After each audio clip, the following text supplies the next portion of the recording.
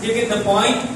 Hindi sa pwede mag-dako-dako sa buwas, mag mahigugmaon pagit sa next year, magbagig mapasensyaon pagit sa next year, because He is already perfection.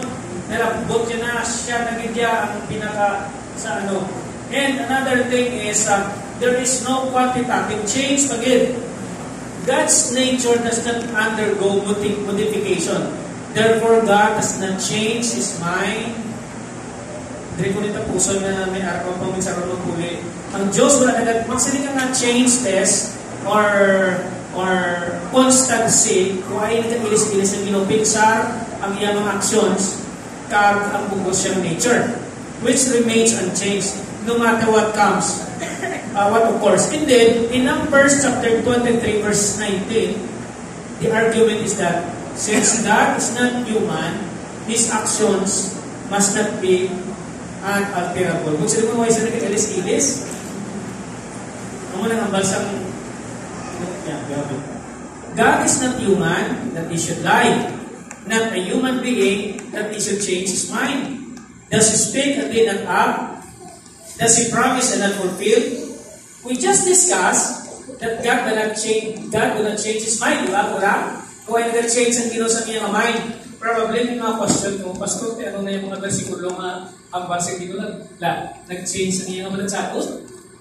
Nag-change ang iyong mind? Let's say, for instance, in Genesis chapter 6 verse 7, 6 and 7. The Lord, nakita niyo naka-underscore, may underline. The Lord regretted that He had made human beings on the earth. Sabi ko, ang Lord, why naga ginulsol? Why sa naga-change ang mind niya? So, nga nga naginulsol siya. Tapos, Pastor, paano pag inayangan? Ako na nakabasa sa inyo, naginulsol ko, ginubra pang tao. Tapos sa John chapter 3 verse 4, Jonah chapter 3 verse 4, isa pa din, Jonah began by going a day's journey into the city, proclaiming, sila niya, 40 more days and Nineveh will be overthrown. Pero sa verse 10, when God saw what they did and how they turned from their evil ways, He relented and did not bring on them the destruction. O nag, ano naman, nag-change naman sa kanyang mind. Imbes na pinahan niya, hindi niya lang pagpinahan. Sabi ko, Pastor, si Lord constant. Why nag-change ang iyong mind? So how are we going to treat these verses? Kanina, constant. Not applicable Japan. Okay, these are passages, you know what, uh, can be explained this way. Number one, some of them are to be understood as anthropomorphism or anthropopathism. Pag sila nga anthropomorphism or anthropopathism, meaning to say, mga description ini sang ginoo sa iyang aksyon kag mga feelings in terms of human description and from human perspective. Meaning to say, nagapakita ini ng representation sa Ginoo na nagapabatsag sa nga nagakasakit man siya. Pero not necessary daw yung ang writer, meaning to say, ang mga writers nagamit sa tinatawag na human analogy. Not necessarily na ang Diyos nag-change sa iyang mind. But nagagamit ang writers sa human analogy like emotions for us to feel na ang Diyos galing ang ginalagad natin, may balatsagon. Di paano nga lang nga galing karoon nga ang Diyos, o oh, hala nagbaha. Tapos may naginutoy-utoy kaglaw. Sino ka nagtaw sa inyo basketball? NBA. Okay, so pamilyar sa inyo si Kawhi Leonard.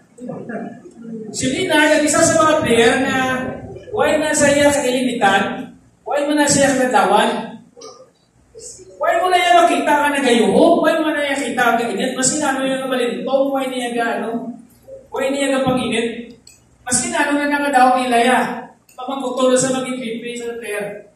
Oh, yeah. Yeah. Ang ibayad ka, matinikan na to yan, ah? Bigla kung si Murag to, pero turong tinikan pag daw nila. Kung si Kawhi Leonard, Kawhi niya, ano yan kung naglalagay kita sa ginoo, sa mo sina? Yung pero pinakasadya sa mga buhay, pa rin tsure, ito wala nasadyahan. Mga sadya sa inyo, no? Sadya mo, brother. Tapos pero pinagay hindi, kung pero pinasugot, brother mo. Why? Kung pasadya ka, mapapasugo. So, the term anthropomorphism and the term anthropopathism were the ways of the writer, biblical writers, to describe that God has feelings and has emotions. The term regret or repented, in other term, does not necessarily mean na ang Diyos na ginulsol. Kaya kung nag-ginulsol pa, sabi nito siya, hindi sa all-knowing eh. Kung sila mo, kaya patuloy na kita, at kung dito na natulupangdan, na ginimo, hindi so rin, mo mo na, no, He is an all-knowing God. He has the access to all times, past, present, and future. He already knew that one day, these people that he had created after his own image Mm. will have that evil inclinations in their hearts all the time. Kita na na sa ginoo yan. Pero siyempre, pag nagsulat na parang ginapabatsa na ito, may balatsagon. And another explanation is that, like in the case of Jonah, siguro, what may seem to be changes of mind, no, may actually be change, new changes in the working out of God's plan. Hindi ang nag-change ang ginoo, kundi nga nag-change ang plano niya sa tao. Sa tao, meaning to say, sa inyo yung may pinagbago. Sa tao yung pinagbago. Let me draw a line that for you to understand. This is it. Sa tumangan sa tao, ang ato niya mo mo. Diba? O, pero naman sa init-init sa Diyos. Backslide. Kung balik-balik naman. O, backslide na Japon. O, nagbalik na. Backslide. O, amo na. Sa tumangan sa Diyos yan, hindi amo na yan. In the perspective of man, this is how our Christian walk is viewed. Babaw, lalo, nagingulso ka, nagbalikan. Sa tumangan sa Diyos yan, straight line. Ayan na yan, inatulog ka, nagpasaka ka, o nagpadagaw ka, nagpasaka ka, nagpadagaw ka. Sa tumangan sa Ginoo, straight inaya. Let's say, for instance, nakita na yun ang mga tao, kuniwali pulong sa Diyos, may nulsol yun yung tao. So, why ito yung Diyos ang tao ang naginulsol? Ang tao ang naginulsol. Sino nagbago ang Diyos? Hindi. Ang tao ang nagbago. That's why that kind of changes can be considered new actually na development sa sa sa sa stages sa working sa Ginoo sa kabuhi sa tao. In that case, ang Diyos why na yan nagbago. Ang Diyos niya, ang tao yan ang nagbago. And third, this is the last one, some apparent changes of mind are changes of orientation resulting from humans move into a different relationship. Before, they don't see God as, as a forgiving God. They don't see God as a loving God. But when the word is preached to them and they know that they can still be accepted despite of their of their sins and all their shortcomings, then they change their mind. Now, ang nagagawa, hindi ng mga changes of mind are changes of orientation. Resulta sa uh, iya ka mga tao na sila nag-move into a different relationship. Different relationship. Alam mo sa Diyos ya, kung mabago ka man yung hindi, ako man lang yung Japon. But of course, ang Bible, gina-present, nagagamit sa yung some words, some language.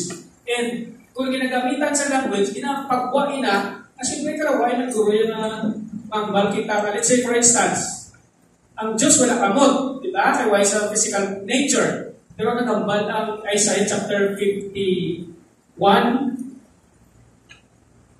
siguro 51, or I don't know, impact ako ng nga the hands of the Lord is not too short. Sabi ko, Pastor, wala ang kinukamot. Tapos kinabal na nila yung Bible na the hands too short. The hands of the Lord is too short. Well, karaway naman guro nga nag-alaga ka sa Diyos, nakabalo kita, na mas hindi na pangayon kita, hindi niya man matag, kaya sa kamot. Gusto niyo na? The eyes of the Lord. Karaway mo guro magpangulo na, kaya nag-alaga ka sa Ginoo, nga Pero pinanghilibiyo ko sa ministry tapos hindi siya nakita kay siya mata. So ang Bible writers, although their God has no physical nature, just exactly what we have, however, Bible writers in the presented that indeed, ang Diyos nakakita. Ang Diyos gusto niya magbuli. So, pinapakita ka may kamot siya. But of course, it's, it's not a physical hand. It's not a physical hand. Kaya kung may kamot ng physical ng ginoo, wala akong siguro mamangkot, pastor, ano wala mga kamot sa ginoo? Grabe, no? Pastor, kung may mata ang ginoo, ano yung tatapos mata sa ginoo? Utang kami ang mata sa ginoo, maski 1 million cars na lang. Ito kasadya na istorya ngayon.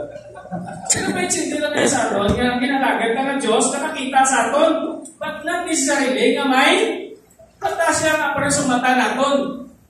Ginarepresenta ang Ginoo sa aton, ang Biblia na presenta sa aton, sa perspektibo ka sa aton, insindihan ka, kung matyagan ka, na nag-relate kita sa Diyos, na kung may mata kita, may mata man siya, may feelings kita, may feelings man siya, may kamot kita, may kamot man ta. Okay? But na, don't take it literal. Don't take it literal. Pero kung nagpamangkot ka, kung may dako ka kamot, ang ginawa mo yung pinakadakuda ka kamot sa pagkulisan. Sa tanan. Ang Diyos may pinakadakuda ka nga makita yan tanan-tanan. Ang Diyos dakuda ka mga korason nga ma makakwat niya kita tanan. Okay? Do you have any question?